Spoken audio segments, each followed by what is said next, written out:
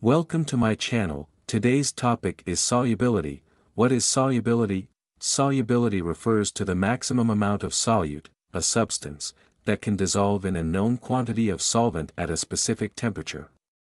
A solution is a homogeneous mixture of one or more solutes in a solvent. For example, when you add sugar cubes to a cup of tea or coffee, you're creating a solution where sugar molecules dissolve due to their solubility. Types of solubility There are three types of solubility. 1. Solubility of liquids in liquids. Water is often called the universal solvent because it can dissolve almost every solute.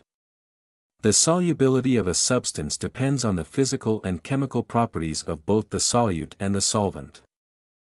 It's expressed quantitatively as the maximum concentration of solute that dissolves in a known concentration of solvent at a given temperature. Solutions can be categorized as highly soluble, sparingly soluble, or insoluble based on the concentration of solute dissolved in the solvent. 2. Solubility of solids in liquids. Similar principles apply to solid solutes dissolving in liquids. 3. Solubility of gases in liquids. Gases can also dissolve in liquids, such as carbon dioxide dissolving in water to form carbonated beverages. Factors affecting solubility, physical and chemical properties. Solubility depends on the properties of the solute and solvent, temperature, generally, solubility increases with rising temperature.